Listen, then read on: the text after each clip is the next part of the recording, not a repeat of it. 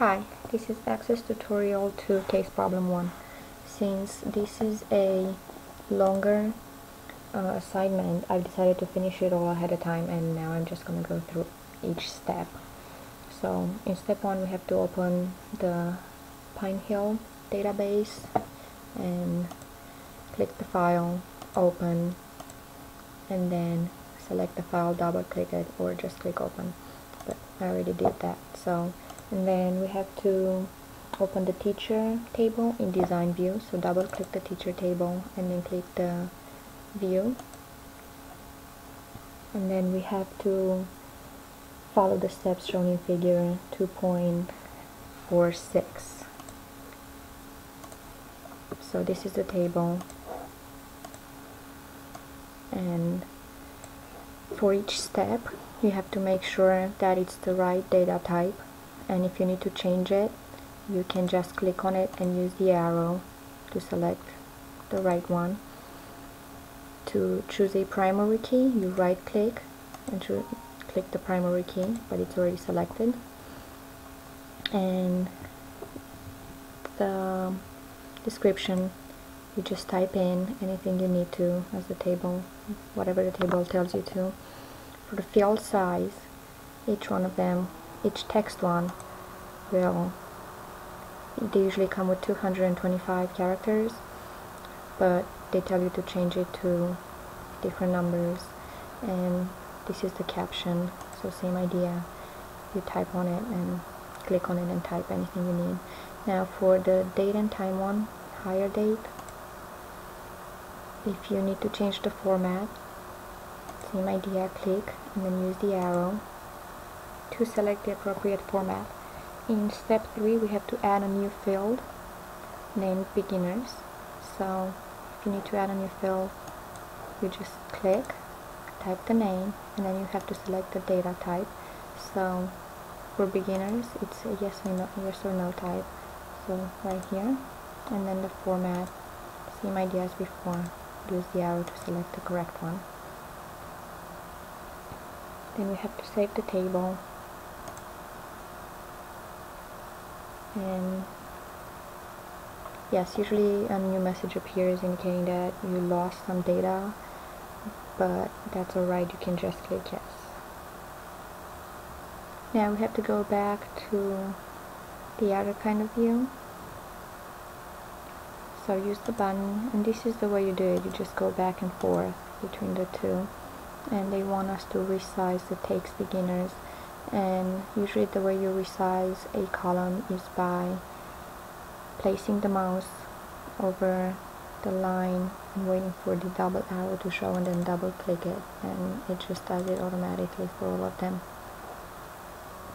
Next we have to import an access file. So go into external data and then click access. And then you have to browse for the file that you need. So they want us to import from music and then you want to import a student table which is the only one. And then you don't care to save the steps. So it created another one for me because I already have the original one the one I did earlier. To open it double click it and then we have to add two extra fields in design view and uh, no in data data sheet view. And one of them is date and birth with date and time field.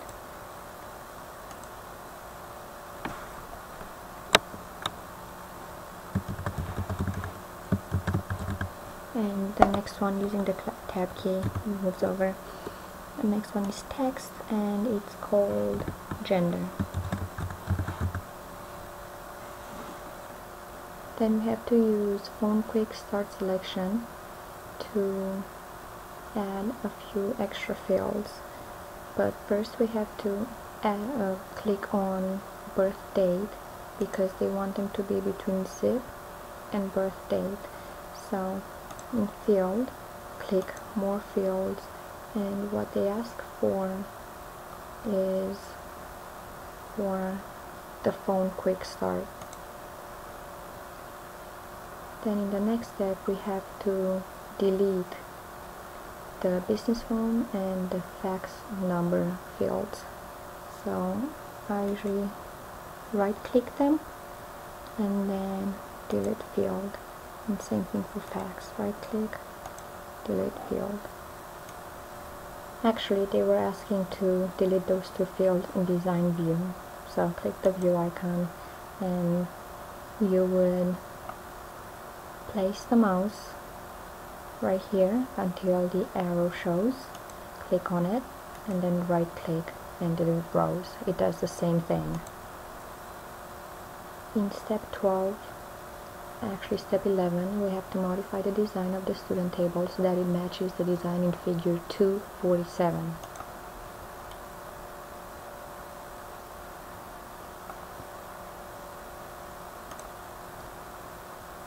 so the way you do that is you just follow the instructions.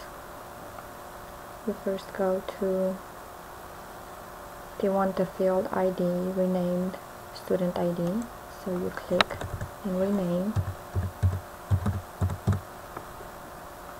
You want it to be text a primary key for description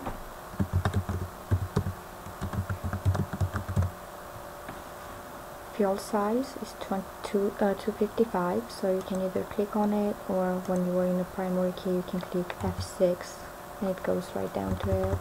And that should be 7 caption should be student ID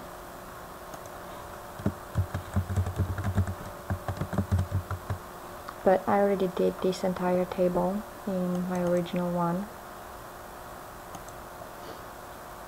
So it's pretty easy to see date and time use the arrows description type it in use the, for the format again you use the arrows. It's pretty easy. Then we have to move the last name field so that it's right after the first name. So make sure the arrow shows click it and then you just drag and make sure the thicker line is right below where you want it to be. And it moves it right there then we have to add the records shown in figure 2.48. So for that you need to go back in data sheet view. And yes you want to save your changes.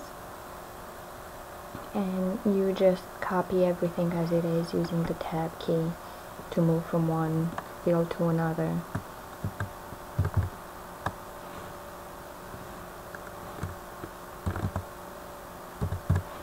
use the tab key and type in the first name, use the tab key again, and so on.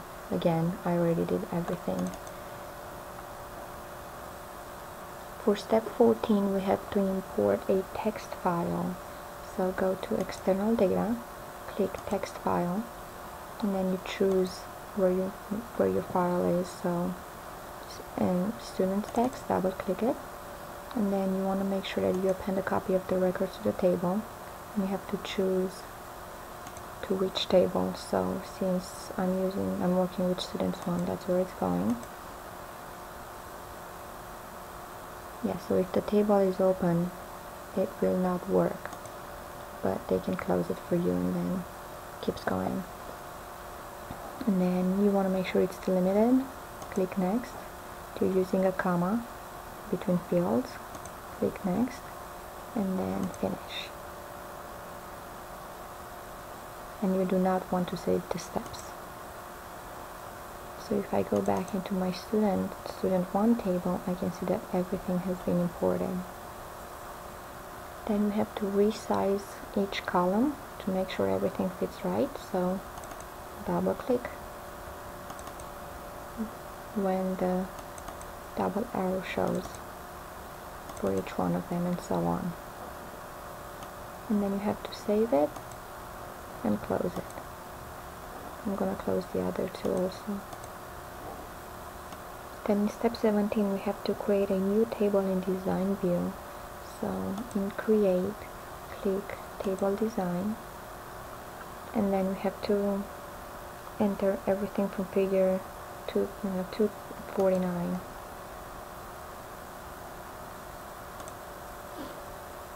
so as I did before we type everything in. Um, the different one that we haven't used before is lesson length which uses numbers type and lesson cost which uses currency. So I'll just do those.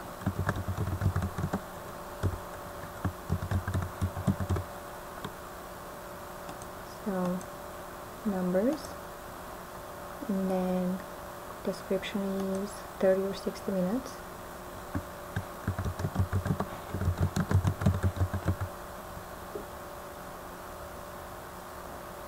for size. You have to choose integer. And then you just have to type in the caption. Lesson length.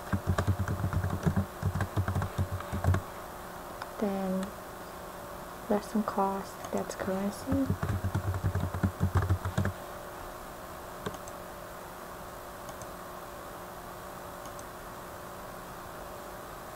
format as currency it's already done and decimal place is zero.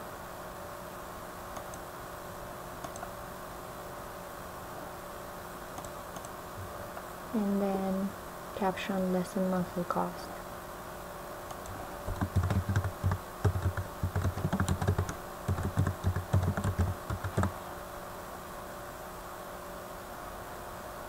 Then we have to specify contract ID as the primary key but since I did not type it in.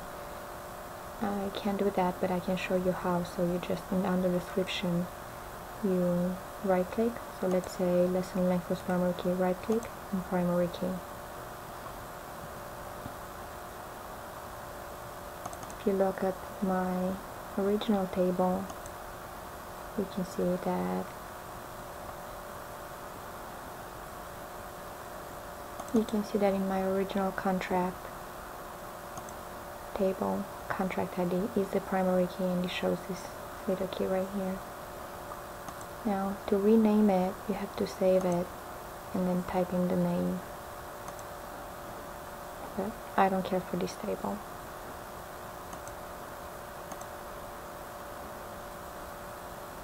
So while in contract we have to go back to datasheet view and we have to use start and end dates quick start and they want us to make the lesson type the active field because they want to put the contract start and date between teacher and lesson type.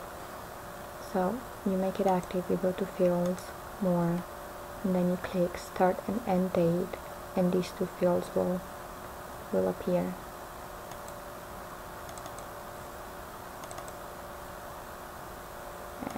I'm here I'm also going to resize them and make them all nice.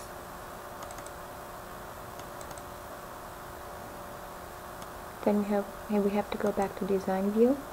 And for the start date and end date we have to make sure that short date format appears and the caption is contract start date and same thing for end date. Then we have to import an Excel sheet so again under external data click Excel choose the file will be lessons. Then append a copy of the record to the table table contract. But I'm not going to go through this whole thing again since I already added them but normally you click OK and then you'll be asked if you want to save your steps and you don't. So I'm going to cancel this then in the last two steps we have to copy the copy the record from here into our table.